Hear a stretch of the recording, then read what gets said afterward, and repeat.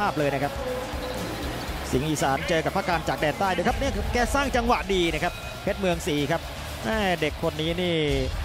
อนาคตนี่เงินแสนนี่อยู่ไม่ไกลนะครับ อายุน้อยครับ ปีใหม่ก็ใจเด็กเขาแต่ยกไหนครับพี่เด็ก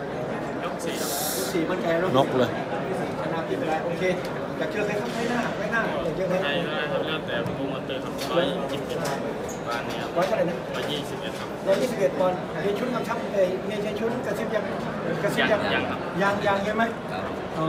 ครับผมเอาขอบคุณใครบ้างครับ ก็ขอบคุณนาทีที่เร็ว99ครับตึกแดงแล้วก็อ่าพี่แชมป์แล้วก็นักมวยทุกคนที่ช่วยปั้มช่วยซ้อมให้แล้วก็ครับจานเน็ตด้วยครับอืมเอาอยู่จังหวัดไหนดูซีสะเกตครับอายุเท่าไหร่แล้วตอนนี้ 16 ย่าง 17 ครับ โอ้อายุยังน้อยด้วยครับแหมแต่ว่าชกมวยสุดยอดเลยเอ้าบอกพี่น้องชาวจังหวัดศรีสะเกษหน่อยขอบคุณพี่น้องชาวซีสะเกตด้วยครับที่ช่วยเชียร์จะ เป็นช่วยเป็นกำลังใจครับครับพี่แชมป์ครับวันนี้ภาพเลยนะครับ สิงห์อีสานเจอกับพระการจากแดนใต้เดี๋ยวครับเนี่ยแกสร้างจังหวะดีนะครับเพชรเมืองสีครับแม่เด็กคนนี้นี่อนาคตนี่เงินแสนนี่อยู่ไม่ไกลนะครับ อายุน้อยครับ ปีใหม่ก็มีดาวรุ่งเงินล้านภาคอีสานเต็มอัตรานะครับ ส่วนวันอังคารที่ 5 พฤศจิกายนนะครับอย่าลืมนะครับมาให้กำลังใจโปรโมเตอร์ชุนเกียรติเพชรที่ลุมพินีกันครับ